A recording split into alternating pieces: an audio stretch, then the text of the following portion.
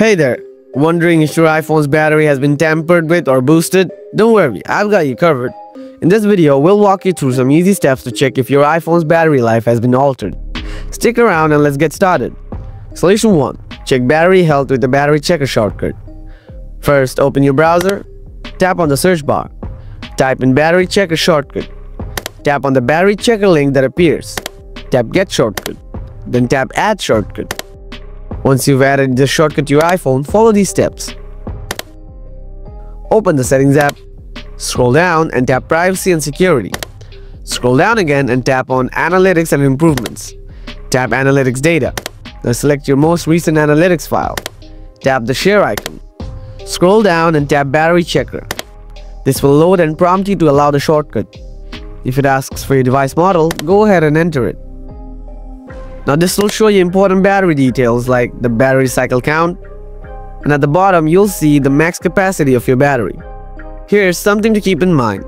Apple calculates that a battery with over 500 charge cycles should have a maximum capacity of around 80 to 83%. If you see a capacity over 85 or 90%, it could be a sign that the battery has been boosted.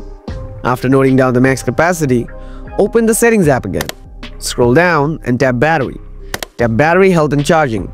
Check to see if the battery number matches the one you noted earlier. If it does, this could mean your battery is genuine and hasn't been altered.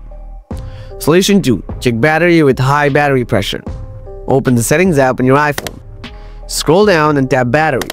Turn on Battery Percentage. Then go back to the previous menu screen.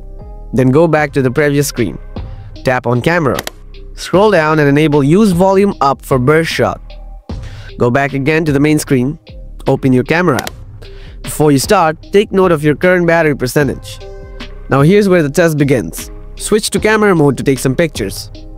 Press the round white shutter button to take 300 burst shots. If you notice that the battery percentage only drops by about 2 to 3% and your iPhone doesn't overheat, then your battery is likely in good condition. However, if your battery drops by more than 5% and your iPhone gets hot around the battery area, this could indicate that the battery has been boosted.